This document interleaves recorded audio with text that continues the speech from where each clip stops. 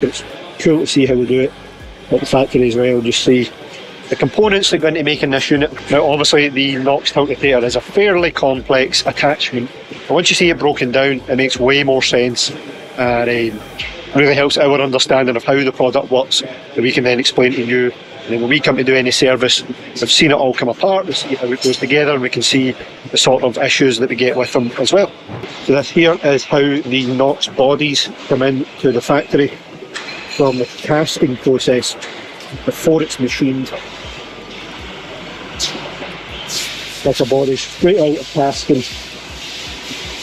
Then it'll go through the machining process and the machine shop in the back here through two different processes, machining processes, and then into the quality control. And that's where it's measured twice in two different um, programs, two different measurement programs um, between the machining stages to make sure that each body is within tolerance and then it negates and reduces the chance of any issues further down the line.